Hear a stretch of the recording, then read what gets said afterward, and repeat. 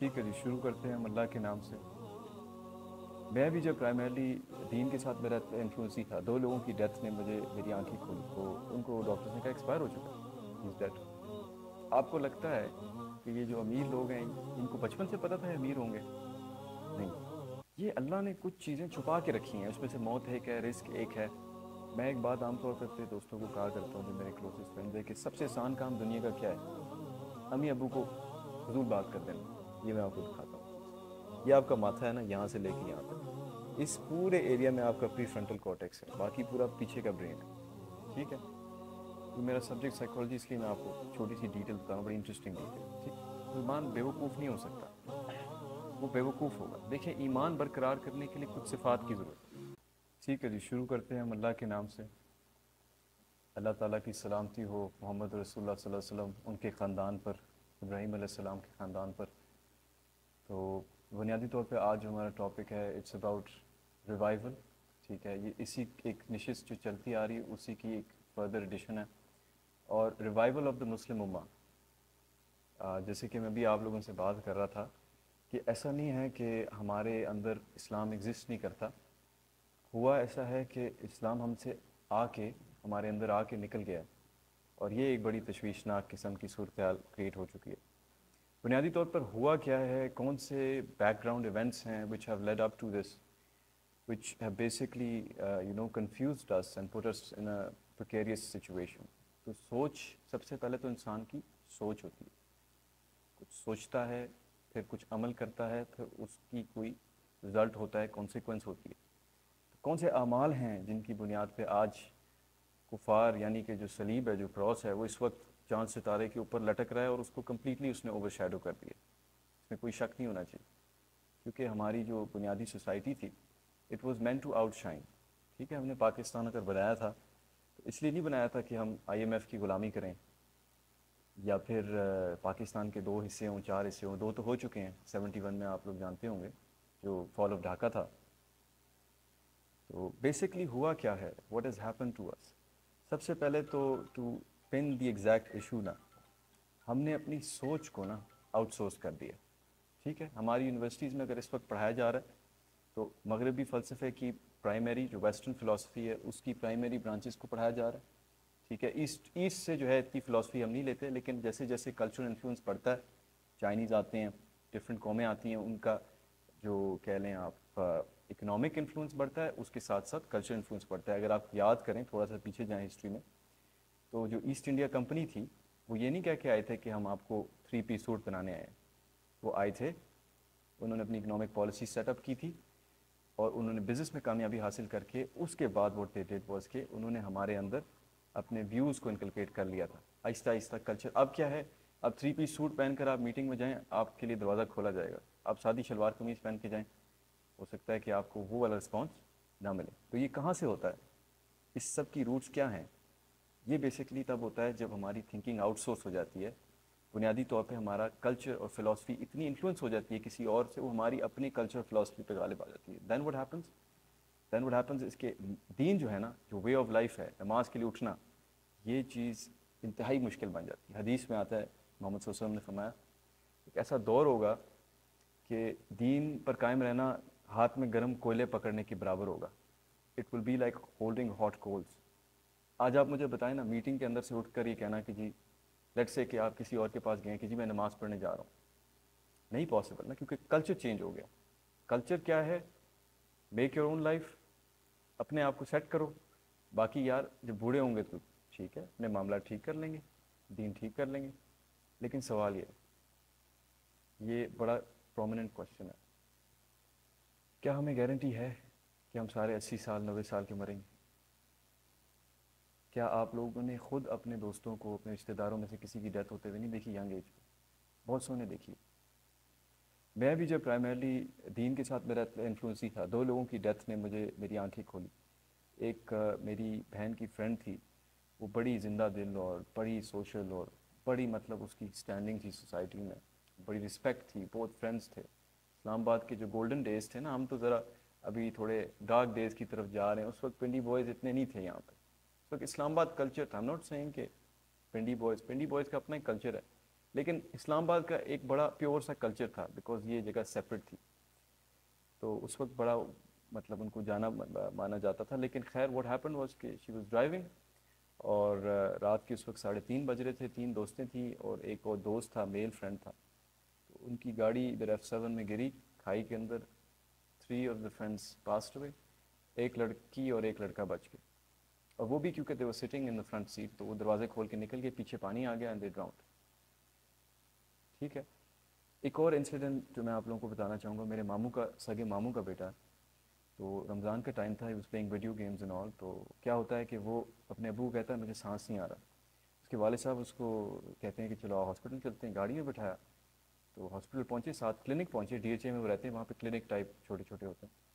तो उनको डॉक्टर्स ने कहा एक्सपायर हो चुका है इज़ डेड तो खैर वो जुमे के दिन रमज़ान को फौत हुआ तो उसके पेरेंट्स के लिए बड़ी कॉन्सलेशन थी, लेकिन बुनियादी चीज़ ये है कि मौत एक ऐसा क्वेश्चन है it's like a limit limiter है, ठीक है?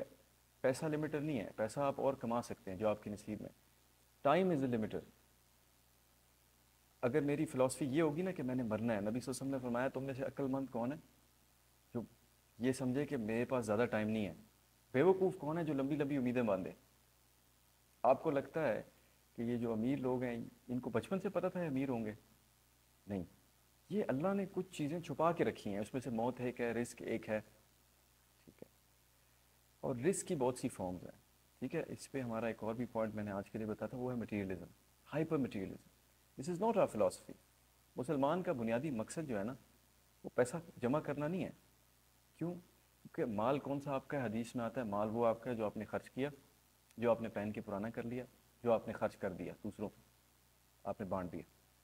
चौथा जो आपने माल जो आप अपना समझ रहे हैं ना this is for your inheritance अब ये जो लोग जिनकी मैंने आपको बात की है, जिनकी डेथ हुई, क्या ये लोग इस चीज़ को समझते थे कि they are not going to be any more tomorrow और टुडे तो क्या हुआ? मैं ये नहीं कहता कि दोनों, लेकिन हो सकता है उनमें से किसी ने तैयारी ना की हो, जाने की। तो हदीस जबरील आपको मैं सुनाता हूँ, बड़े मज़े की हदीस है, ये समझने वाली बात अल्लाह ताला ने जब जन्नत और जहन्नुम बनाई ना, इंसान की तख्लीक से पहले अल्लाह ताला ने जबरील को हुक्म दिया कि जाओ ज़रा जन्नत को देख के तो जबरील ने जब जन्नत को देखा तो उन्होंने कहा, अल्लाह ताला, ये इतनी खूबसूरत है कि यहाँ हर कोई आना चाहेगा। तो अल्लाह ताला ने कहा, जाओ, इसका रास्ता देख के जबरील ने जब उसका रास्ता देखा तो उसमें क्या था? सारी मुश्किल आजमाइशें बीमारियाँ। ऐसा नहीं था कि अच्छे टाइम्स नहीं आते, लेकिन अप एंड डाउन होता रहता, ठीक है? एक शख्स का वाक़ होता है कि वो कभी बीमार नहीं हुआ होता तो उसकी बीवी कहती है कि तू जन्नत में नहीं जा सकता, ठीक है? बिकॉज़ जिस बंदे पे कभी आजमाइश ही नहीं आई। यू नो लेट से मैंने बंदे मारे हैं, मैंने लोगों के हक खाए हैं nothing is happening to me तो मैं क्या ज्यूम करूँगा? मैं ज्यूम करूँगा कि यार, मैं ठीक, मैंने ठीक किया ना, मुझे कुछ हुआ नहीं। कुछ तो सेट है, गाड़ी चल रही है, मेरी कुछ भी नहीं हुआ। नहीं। हदीस में आता है, जिसके लिए अल्लाह खैर चाहता है, अल्लाह उसको फितनों में डालता है, अल्लाह उसकी टेस्टिंग करता है।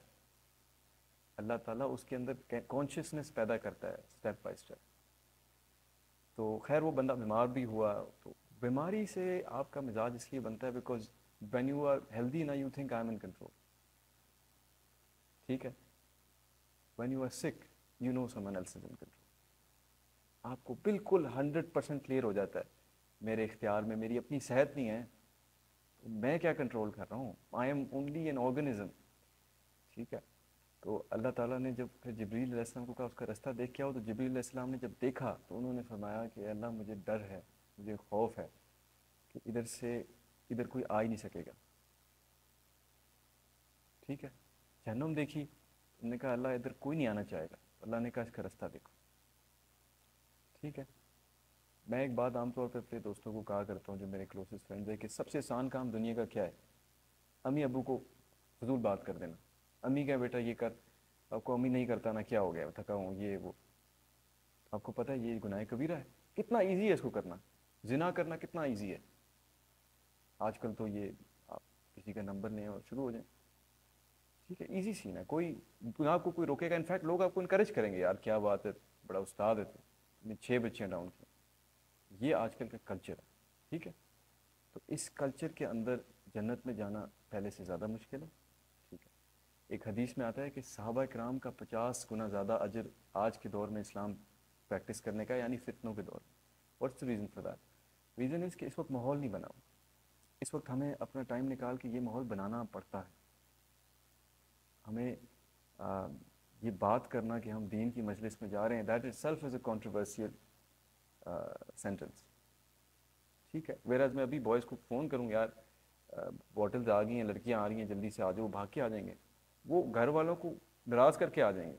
लेकिन दीन की बात होगी वो कहेगा, यार, अम्मी इजाज़त नहीं दे रही, यार। अबू कह रहे हैं, यार, पढ़ाई करनी ठीक है फेयर नफ आप अपने मामला को साथ रखें। लेकिन एट द सेम टाइम ये जान लें कि मोमिन का गुमशुदा माल जो है, वो इल्म है, वो हमत है। इल्म का होना ज़रूरी है। दुनियावी इल्म के बगैर आप फ़ंक्शन नहीं कर सकते दुनिया लेकिन दीनी इल्म के बगैर आप उस दुनियावी इल्म का मुकम्मल फ़ायदा हासिल नहीं कर सकते। नहीं कर सकते, सर। जब आपका स्लीप साइकिल रात को सोना, सुबह जागना नहीं होगा ना, आप अपने दुनिया, दुनियावी इल्म का फ़ायदा नहीं उठा सकते। डिसिप्लिन के बगैर कोई बंदा कभी कामयाब नहीं हुआ। पूरी दुनिया में आप मिसाल खैर, वो हदीस पे आते हैं वापस। तो जब जहन्नुम का रास्ता देखा ना, उसमें सारी क्या थी? आप बताएँ क्या होगा? आसानियाँ ख्वाहिशात पार्टीज़ रेसिंग ठीक है?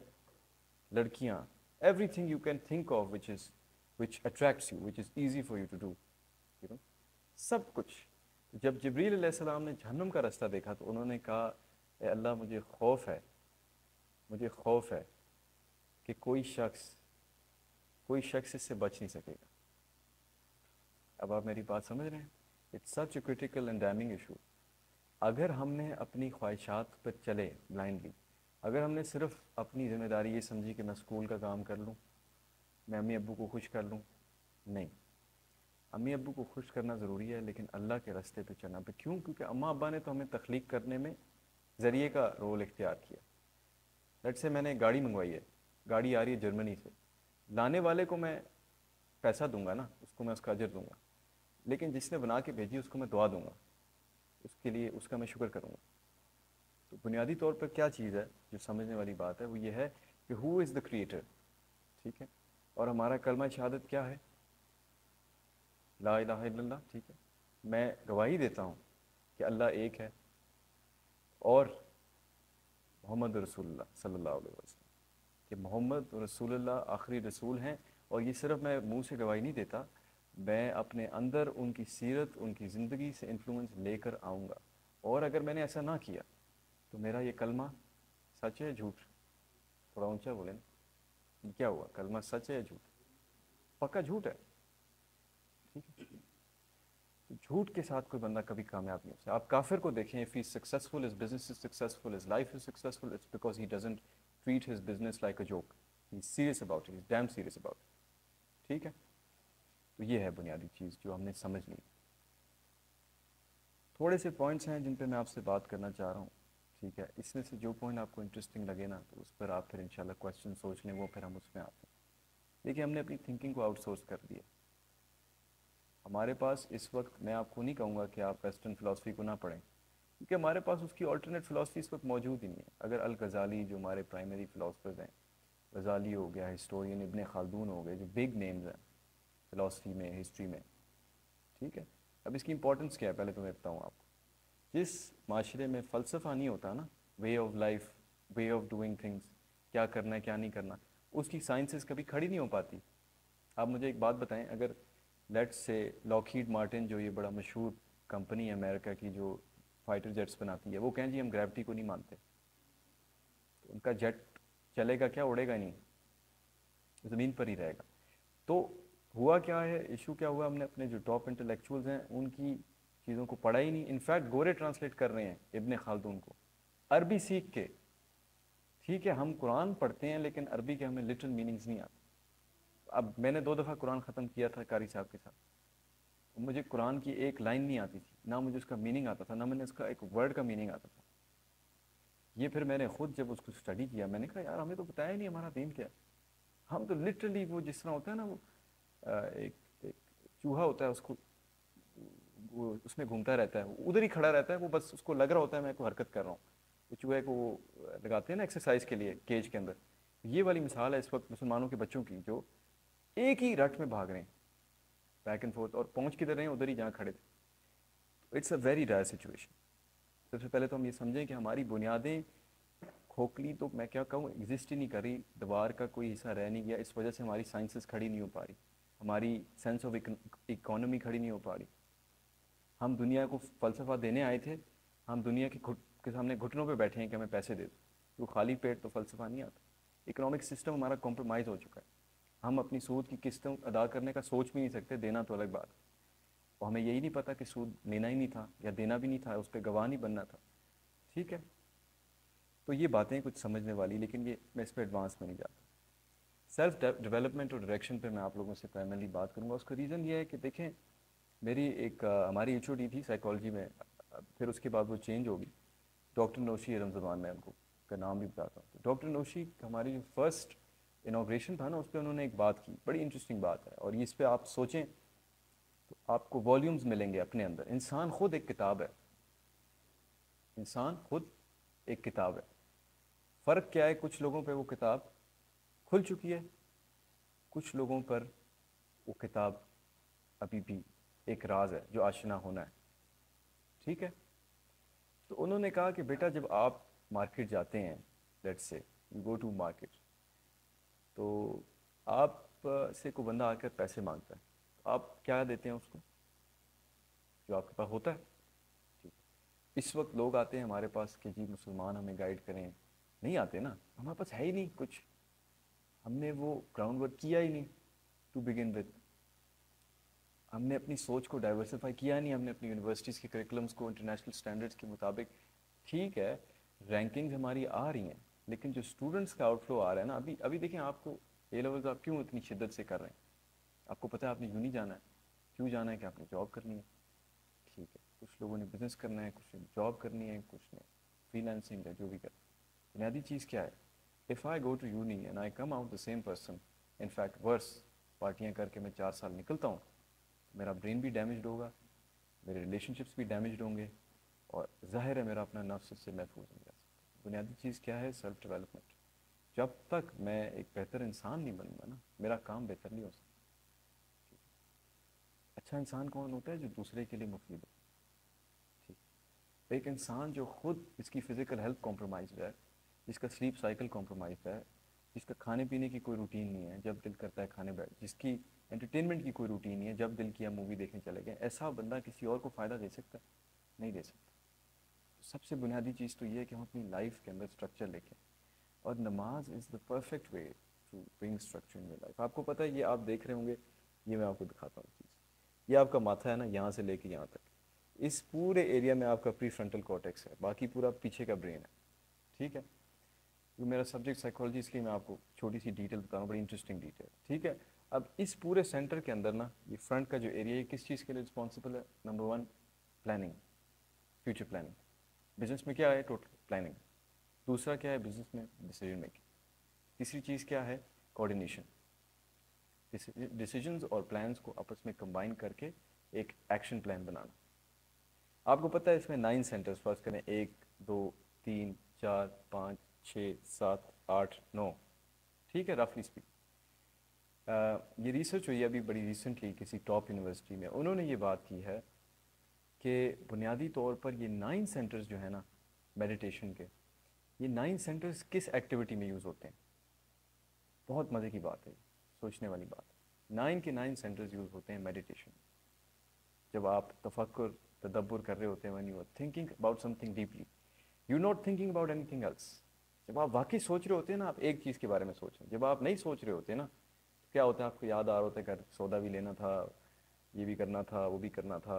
बीवी का फ़ोन आ रहा है वट जब आप सोच रहे होते हैं ना तो बस आप उसी चीज़ के बारे में सोच रहे तो आपको पता है, ये ब्रेन का पार्ट किस एज पर डेवलप होता है फुली ये डेवलप होता है ट्वेंटी फाइव ईयर्स की एज पे। ड्रग यूज़ बुरी रूटीन बैड डाइट इन्फ्लुएंस करती है इसकी डेवलपमेंट अगर ये चीज़ डेवलप ना हुई, क्या होगा? हम काम नहीं कर पाएँगे। सही तरह।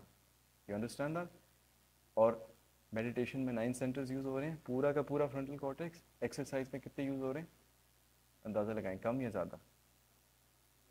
ये सबका गुमान है, लेकिन सेवन सेंटर सेवन सेंटेंस गोरा क्या करता है? उसने मेडिटेशन को एक्सरसाइज से रिप्लेस किया।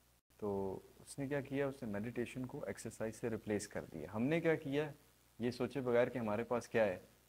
घर में दो टन सोना पड़ा और बंदा जाके बाहर बीस हज़ार के लिए मेहनत करो। हमारी वो वाली मिसाल। है ठीक है, हम सोने के घर में रहते हैं, लेकिन हम बाहर जाके पूछते हैं, यार ये ये तेल का बैरल दो ना, हम तो गरीब हैं। हम गरीब नहीं हैं, हमें अपने माल का एहसास नहीं है, इसलिए हम गरीब हैं।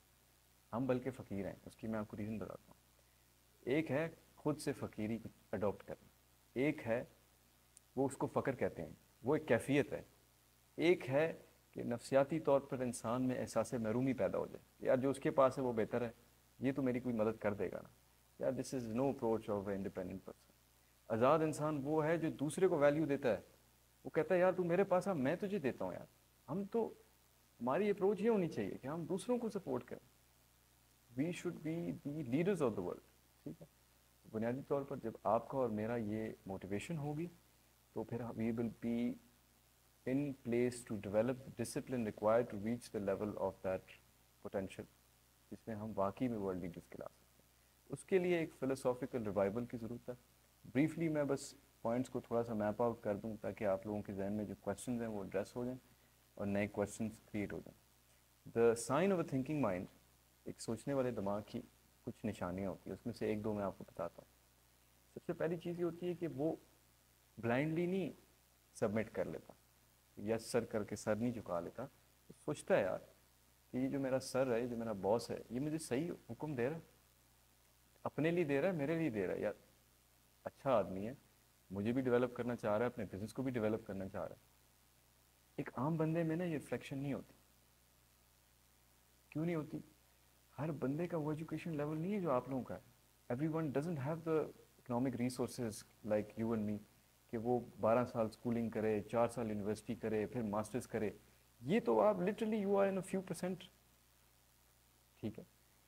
आपको एहसास शायद ना हो क्योंकि आपने खुद फ़ीस नहीं दी, लेकिन आप में से कोई बंदा भी खुद फ़ीस दे, उसको समझ आ जाएगी कि इसकी वैल्यू क्या है एजुकेशन ये जो प्रैक्टिकल एजुकेशन है ना, ये आपके न्यूरोनल स्ट्रक्चर देखें, जब आप किसी चीज़ में इंटरेस्टेड होते हैं ना तो आपके न्यूरॉन्स फायर होते हैं ब्रेन में, ठक ठक ठक ठक ठक, बिजली की तरह इट्स लाइक इलेक्ट्रिकल सिग्नल होता क्या है, जब आप तालीमी निज़ाम में से गुजरते हैं ना तो आपका ब्रेन स्ट्रक्चर चेंज कर लेता है अपना। आपने देखा वो लोग जानवरों को पालते हैं, वो जानवरों की ज़बान सीख लेते हैं। वो कैसे सीखते हैं? वो रह रह के उस इन्वायरमेंट में उनका ब्रेन का स्ट्रक्चर अडेप्ट हो जाता है लिंग्विस्टिकली आप चेंज हो जाते हैं ओवर टाइम तो ये ब्रेन बड़ी अमेजिंग चीज़ है। बात यह है माहौल इन्वायरमेंट ठीक है? किस किस्म की हम उसको फ़ूड दे रहे हैं। We have to feed our body which feeds our mind and then we have to absorb this knowledge Allah अल्लाह ने दिए ताकि हमारी रूह तवाना रहे, ताकि हमारी बॉडी जो है वो जहाँ ना जाए। मतलब आपने देखा होगा अक्सर वो जिम बॉयज़ होते हैं जिन्होंने बड़ी बड़ी बॉडीज़ बनाई हैं।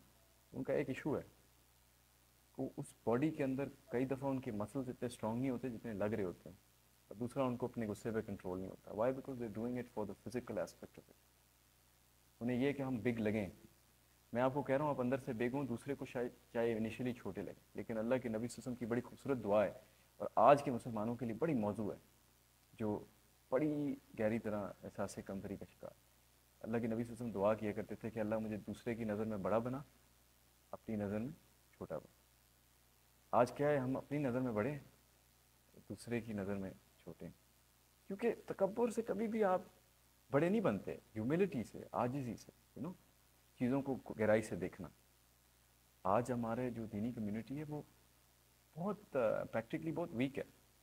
और हमारी इवन जो दूसरी कम्युनिटी है, जो एजुकेटेड कम्युनिटी है, वो जो चीज़ें बाहर सीख रहे हैं उसको सिर्फ़ अपनी ज़ात पर इस्तेमाल कर रहे हैं, अपनी जेबें भरने के लिए। उसको वापस लेके ये रेयर ही एक को बंदा। है बुनियादी तौर पर एक और पॉइंट जो मैं आपको ये ये रैशनल थिंकिंग में आ गया ना, हम अपनी थिंकिंग को स्केल करें। मैं ये काम क्यों कर रहा हूँ? ताकि मैं ये करूँ, और उससे क्या होगा? उससे न सिर्फ़ मुझे, मेरी फैमिली को, मेरी पूरी कम्युनिटी को फ़ायदा होगा। अल्लाह ताला फरमाते हैं, मैं अपने बंदे के गुमान के करीब हूँ। अगर एक इंसान मुझसे बुरा गुमान रखेगा तो उसकी लाइफ में क्या होगा? बुरा होगा। अगर वो मुझसे बड़ा गुमान रखेगा, अब लेट से मैं कहता हूँ, यार I want to build a billion dollar company so I can employ thousand of people and give them good life मैं उनको हेल्थ सिक्योरिटी दूँगा, मैं जो भी दूँगा वट एवर अब क्या होगा? Everything in my life is going to combine to serve that purpose because हमारा माइंड है ना, ख़ासतौर पर जो मर्द का दिमाग है, वो बड़ा जैसे आप कह लें कि फोकस्ड है। वो एक चीज़ को देख रहा होता है ना, हज़ारों चीज़ें। मेरा जो फीमेल माइंड है, उसके अंदर जो एक प्राइमरी बायोलॉजिकल डिफरेंस है, वो स्कैटर्ड है। उसके अंदर मल्टीपल आइडियाज़ चलते हैं। तो अल्लाह ताला ने चूँकि मर्द और औरत का रोल डिफरेंट बनाया, इसकी फिजिकली उनके ब्रेन के साइज़ में स्ट्रक्चर में और यूटिलिटी में डिफरेंसेस हैं तो कई लोग आजकल कहते हैं कि मर्द और औरत एक है। ठीक है। मर्द और औरत में कोई फ़र्क नहीं है। जबकि आप मुझे खुद बताएँ, अगर आप कोई गलती करते हैं तो अम्मी को बताते हैं, अबू को बताते हैं। अम्मी को बताते हैं ना? बहुत डिफरेंस है मर्द और औरत। अगर ना होते ना तो बच्चा बड़ा ही ना हो पाता। अबू जी जो है ना, जब बच्चा रात को रोता है, कौन उठता है? अम्मी जी उठती हैं अबू जी उठते हैं? अम्मी जी उठती हैं, नाइन आउट ऑफ़ टेन पर। इसीलिए इस्लाम में माँ का हक तीन दफ़ा ज़्यादा है बाप से। तीन दफ़ा ज़्यादा है। ठीक है। मुझे आप सारे लड़के बैठे हैं इधर मुझे बताएँ, आप अम्मी से ज़्यादा प्यार करते हैं अबू से? अम्मी से ना, मैं भी अम्मी से करता हूँ। कभी कभार अबू तब जाते हैं मुझ पर मेरी अम्मी नाराज़ हो जाती हैं, मेरी अम्मी नाराज़ हो जाती हैं, वो कहती हैं कि यार, तुम अपने अबू से ज़्यादा बात किया करो। और वाकई में ये एक हदीस आती है, ये एक हदीस आती है, ये बड़ी इंपॉर्टेंट हदीस है, सुनिएगा गौर से। वो ये है कि एक जो क़्यामत तब आएगी जब एक बेटा अपने बाप के साथ सख्ती करेगा और दोस्त के साथ नरमी करेगा।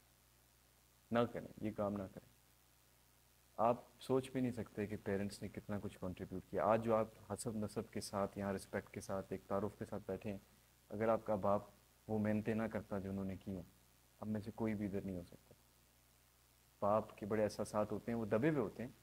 अम्मी जी तो कह देती हैं अबू जी दबा के रखते हैं, लेकिन इसका गलत, मुसलमान वो है जो ना किसी का नुकसान करे और ना अपना होने दे। He is proactive perception करके पूरी सिचुएशन को देखता है। मुसलमान बेवकूफ़ नहीं हो सकता। वो बेवकूफ़ होगा। देखिए, ईमान बरकरार करने के लिए कुछ सिफात की ज़रूरत है। आप लोगों ने सुना होगा इकबाल के शेर, सबक पढ़, शुजात का, सदाकत का, अदालत का। लिया जाएगा तुझसे काम, दुनिया की इमामत का। ठीक है? तो आज आप देखें, जो कौम दुनिया की इमामत कर रही है यूनाइटेड स्टेट्स ऑफ़ अमेरिका उसमें ये तीन चीज़ें हैं कि नहीं हैं? सच्चाई उनकी अदालतों में सच पर फैसले होते हैं। सेनेटर को भी जेल में डाला जाता है, डाला जाता है। ठीक है सदाकत ये सच हो गया, गवाही वहाँ पे दी जाती है। अदालत ये भी हो गया, तीसरी चीज़ शुजात। बहादुर है ना वो।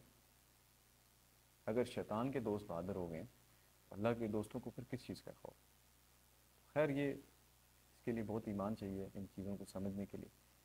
तो मैं अब बस थोड़ा सा आप लोगों को ना टॉपिक्स बस ब्रीफली बता रहा हूँ, फिर हम क्यों ए पे आ रहे हैं। ठीक है?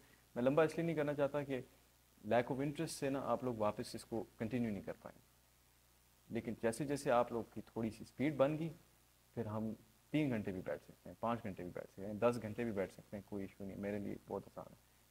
तो इसमें lack of knowledge and research ठीक है। उम्मत इस वक्त कैलकुलेटेड अप्रोच नहीं रख रही।